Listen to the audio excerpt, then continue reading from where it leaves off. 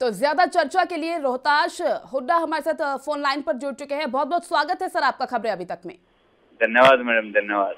तो सुना आपने जिस तरीके से बातचीत का एक ज़रिया बातचीत करके रास्ता निकालने की कोशिश की गई है और अब सरकार कह रही है कि जाटों की जो मांगे हैं उन्हें पूरा किया जाएगा। आपकी पहली प्रतिक्रिया। देखिए हम सरकार के इस कदम का स्वागत करते हैं कि सरकार ने बातचीत के रास्ते से समाधान निकालने की कोशिश की है और इस मुद्दे की गंभीरता को और लोगों की भावना को समझने की कोशिश की है। जी। तो क्या लगता है जो रैली होने वाली है अमित शाह की जिसे लेकर लगातार विरोध के जो स्वर हैं वो गूंजते दिखाई दे रहे थे। और अब विरोध नहीं किया जाएगा क्योंकि कई मांगों पर अब मोहर लग चुकी है कि मांगे जो है वो सरकार मानेगी। देखिए सरकार से बहुत ज़्यादा नाराज़गी थी जाट समुदाय को। कि भाई लगातार दो साल का वक्त सरकार के पास था हम्म। और काफ़ी टेक्निकल और कानून विशेषज्ञों की राय ले चुकी थी सरकार हम्म। केस वापसी के ऊपर। हम्म। लेकिन सरकार इसमें कुछ ढीला रवैया अपनाए हुए थी कुछ असामाजिक तत्व कहूँगा मैं उनको जो जातिवाद की बात करके समाज को भड़काना समाज को तोड़ना चाहते हैं सर प्रदेश में शांति व्यवस्था कायम नहीं होने देना चाहते इस तरह के लोग दूसरे समाज के लोगों को भड़का रहे थे इस बात के लिए। लेकिन मैं आपको ये बताना चाहता हूँ ये जो हमारी लड़ाई थी छत्तीस बिरादरी के लोगों की लड़ाई थी। हम्म। 2016 में जो आंदोलन हुआ उसमें छत्तीस बिरादरी के लोगों पर केस दर्ज हुए थे और छत्तीस बिरादरी के लोग शहीद हुए थे उसमें। तो हमने छत्तीस बिरादरी के लोगों की लड़ाई लड़ी है न कि जाट समाज की। इसमें सभी को राहत मिलेगी जो सरकार कदम उठाने जा रही है। छत्तीस बिरादरी के लोगों के केस वापस होंगे और हम भी चाहते हैं प्रदेश में भाईचारा और शांति व्यवस्था कायम रहे। हम सरकार के इस कदम का सम्मान भी करते हैं और उम्मीद भी करते हैं सरकार से कि समय रहते सभी जो भी समझौता हुआ है इसको लागू करेगी। चलिए आप बने रहिए इसी के साथ। जाट नेता हवा सिंह हमारे साथ फ़ोन लाइन पर जुड़ चुके हैं। बहुत बहुत स्वागत है सर आपका खबरें अभी तक में। हाँ जी धन्यवाद। तो जिस तरीके से मनोहर लाल खट्टर की ओर से ये फैसला लिया गया है कई मांगे आपकी मान ली गई हैं क्या सहमत हैं आप? ऐसा है ये देखो ये बहुत बड़ा राजनीतिक षड्यंत्र है। हम्म। और ये चल रहा है दो साल से। ये बात पहले भी एक साल पहले मानी गई थी। हमारे सामने भी सताईस जनवरी 2016 को सीएम ने चंडीगढ़ माना था। तो ये मानते रहते हैं कोर्ट इनकी कोई बात सुनता नहीं है कोर्ट को क्या बोल रखा है क्या हो रहा है पता नहीं है। और उसके बाद ये राजनीति इसको समझने की ज़रूरत है। यशपाल मलिक का अभी आंदोलन कर ही नहीं सकता था ये। हम्म। इसको मालूम है ये यूपी का रहने वाला है ये वापस जाएगा वहाँ भारतीय जनता पार्टी की सरकार है। ये बिल्कुल इस बात को जानता है। हम्म। और ये जो है ये लोक दल और लोक दल तो सारा ले रही है यशपाल मलिक का। हम्म और यशपाल मलिक सारा ले रहा है लोक दल का। हम्म। अब लोक दल ने बोला था कि हम भी जो है उसका शाखा जो है वो करेंगे विरोध करेंगे। आप देख रहे हैं, कोई विरोध नहीं करेंगे। जी। ये मिली जुली बातें हैं बड़ी राजनीति है इसमें और कुछ नहीं है। लेकिन जिस तरीके से फैसला ले लिया गया है जो रैली होने वाली थी जाटों की उसे स्थगित कर दिया गया है। कहा जा रहा है कि अब उनकी ओर से विरोध नहीं किया जाएगा। हाँ तो वो तो हमको तो पता था ये रिज़ल्ट आएगा। हम्म। क्योंकि यशपाल मलिक का आंदोलन करना है कोई सवाल ही पता नहीं होता उनकी मामला हो रही है ठंडा हरियाणा में। हम्म। और कुछ दिन में हो जाएगा। हम्म। और उनको यहाँ से हरियाणा से जाना पड़ेगा एक दिन। मैं आपको बता रहा हूँ पहले ही मैंने बोला था और इनसे भी हमने कही भी तू चला जा खाम खा खून खराबा क्यों करवा रहा है? अब यही आदमी वहाँ जाकर के इसने मांग रखी है कि जो लड़के थे जाटों के लड़के जो जींद वाले उनके खिलाफ मुकदमे जो दर्ज हुए हैं उनके ऊपर कार्रवाई हो। ये किसी का भलाई नहीं चाहता। पहले इन्होंने जो है अभिमन्यु और जो है धनखड़ के खिलाफ बयान दिया था। ये किसी का नहीं है मैं जानता हूँ इस आदमी को बहुत पुराना जानता तो हूँ उसको सांगवान साहब क्या सिर्फ़ दिखावा किया जा रहा था ये? हाँ जी। क्या सिर्फ़ दिखावा किया जा रहा है ये? पक्का आंदोलन करना है कोई सवाल ही नहीं था। हम्म। आंदोलन कहाँ से करेगा ये? हम्म। वो तो करेगा तो फिर लोकदल का सहारा ले करेगा लोकदल जो खुद हट गया पीछे अभी। तो ये जो है ना ये बड़ा एक राजनीति है इसको समझना आम आदमी को थोड़ा टाइम लगेगा। जी सांगवान साहब। रोहतास जी जुड़े हुए हैं मलिक गुट से हमारे साथ आप क्या कहेंगे? देखिए मैं सांगवान जी की बातों का खुद जवाब देना चाहता हूँ। सांगवान जी के विचारों से एक पूर्वाग्रह से ग्रसित है और एक इनके अंदर से खींच की भावना निकल कर सामने आ रही है। हम्म। इनको इस तरह का व्यवहार निकलना चाहिए। बहुत बुज़ुर्ग है सम्मानित व्यक्ति है और भाईचारा बना रहना चाहिए। हरियाणा में इस तरह के बयान इन्होंने देने चाहिए। लेकिन ये मैं आपको बताना चाहता हूँ हरियाणा में लगे। 2016 के मेरी बात सुन लीजिए सर एक बार। 2016 के अंदर 2105 एफ़ आई आर दर्ज हुई थी हरियाणा में। जी। और इक्कीस सौ पाँच में था? चौबीस हज़ार एक बार बात सुन लीजिए सर। हरियाणा के अंदर इक्कीस सौ पाँच केस दर्ज हुए थे। तुम का बच्चा बात कर रहे हैं फालतू।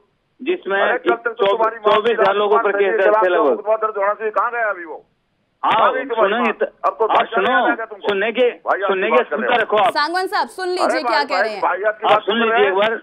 राजकुमार सैनी की मांग के खिलाफ मांग थी आपको उसके खिलाफ मुकदमा दर्ज होने वो मांग कहाँ गई आपकी? आप सुन तो लीजिए मैं बता रहा हूँ ना वही बात। अरे मांग कहाँ गई? सुन वो लीजिए। बताओ तो आप तो क्या सुनना है? आपकी बात मैं जानता आप हूँ सुन लीजिए आप बौखलाइए मत। बौखला बहुत अच्छी राजकुमार बात सैनी के खिलाफ आपकी मांग थी। हैं। वो बताओ अभी। सुन लीजिए आप। वो मांग कहाँ सुन लीजिए सर। अरे मांग आप सुनेंगे तभी तो कहाँ बता- गई वो मांग? आप सुन लीजिए सर बौखलाइए मत सुन लीजिए। मैं बताओ ना वो मांग कहाँ गई? अभी वो पाँच मांग हाँ, बत- कहाँ गई वो? हाँ एक मिनट सुने आप। जी सांगवान साहब का कहना है कि सीधे तौर पर ये दिखावा है सब। हाँ तो ये सुनेंगे तभी तो इसका जवाब दूँगा। मैं इनको एक बार रोकिए जी मैंने ये बोल रहे थे तो सुनिए क्या कह रहे हैं रोहतास जी। तो देखिए फरवरी 2016 में 2105 केस दर्ज हुए। जी। और 2105 केस जो दर्ज हुए थे उसमें लगभग चौबीस हज़ार लोग नामजद थे। हम्म।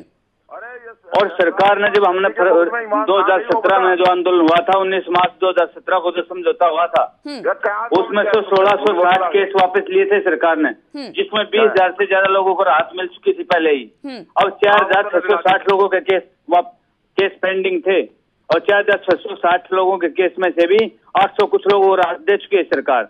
और जो लोग हाँ, दे चुकी दो हज़ार है, सत्रह के आंदोलन में। शहीद हुए दो हज़ार सोलह के आंदोलन में सबको नौकरी मिल चुकी है। राजकुमार सैनी के मुकदमे का क्या होया? राजकुमार सैनी से हमने कोई लेना देना नहीं है राजकुमार सैनी से। राजकुमार से हम चाहते हैं हमने तो रविंद्र नांदल और प्रदीप राठी के हत्यारों को भी माफ़ किया सर। हम हाँ, राजकुमार बहुत सैनी जैसे लोग जो समाज को तोड़ना चाहते हैं उस मुद्दे पर नहीं जाना चाहते हम समाज का भला चाहते हैं। हरियाणा में शांति व्यवस्था चाहते हैं। आप लोग समाज को भड़का कर राजनीति करना चाहते होंगे हमारी राजनीति करने कोई मंशा नहीं है। सरकार ने काम किया है और सरकार काम कर रही है। सरकार पर हमें पूरा विश्वास है कि सरकार काम करेगी। सरकार के बातें बजा कितने भी हम नहीं मानने वाले सरकार सिरपुर की मैं आप मत मानो आप आपको मनाना भी नहीं सर हमने। हमें हरियाणा की जनता का जो जवाब देना है हरियाणा की जनता हमारे साथ है। कर दिया मुकदमे की बात कहाँ गई? हमारे साथ हरियाणा की रहे हैं जनता कि हरियाणा की जनता उनके साथ है पूरा सहयोग है जनता का उनके साथ।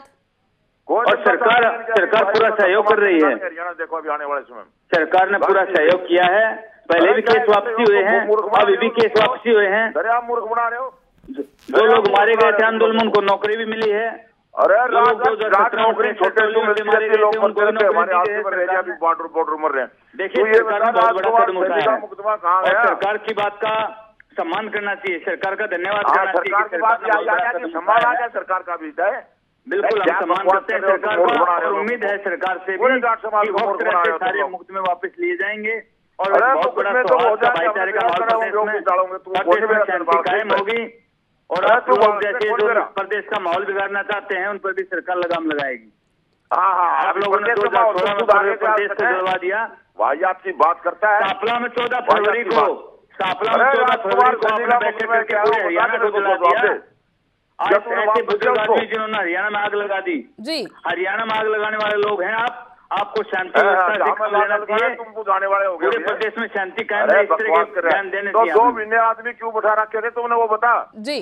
दो हज़ार चौदह दो चौदह साहब लेकिन अब बैठक के बाद जो है बीच का रास्ता निकाल लिया गया है स्थगित कर दी गई है जो अ, उनकी ओर से विरोध किया जा रहा था रैली को फ़िलहाल स्थगित कर दिया गया है। मांगे पूरी कर ली गई हैं मांग ली गई मान ली गई हैं उनकी मांगों को।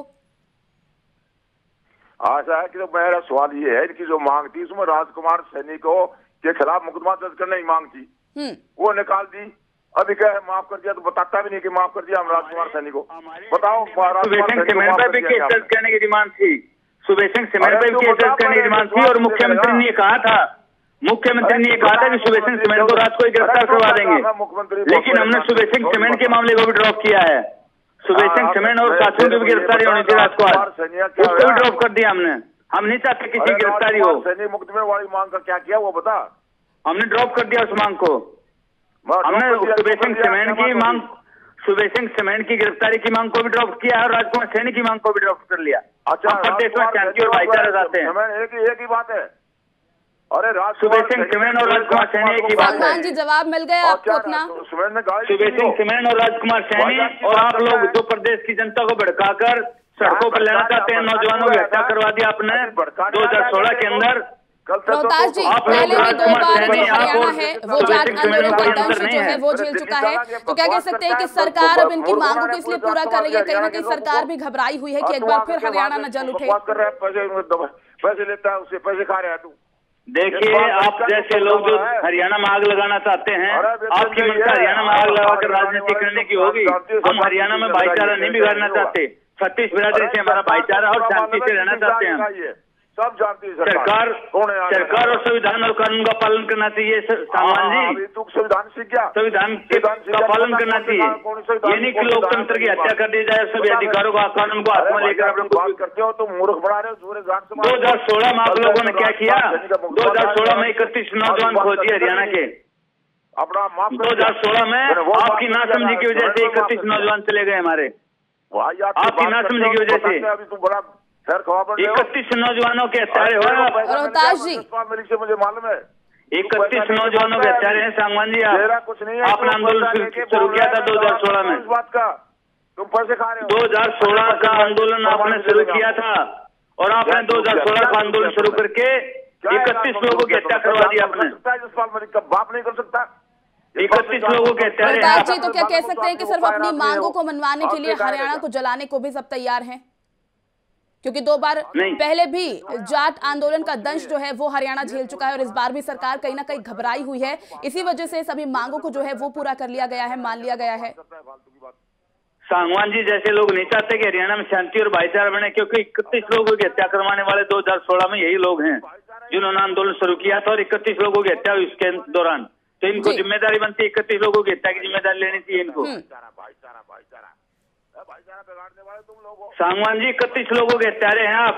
इकतीस लोगों के हत्या दो हज़ार सोलह आंदोलन आपने चलिए शुरू किया था। रोहतास जी बहुत बहुत शुक्रिया खबरें अभी तक के साथ जुड़ने के लिए। सांगवान जी आपका भी बहुत बहुत शुक्रिया खबरें अभी तक के साथ जुड़ने के लिए।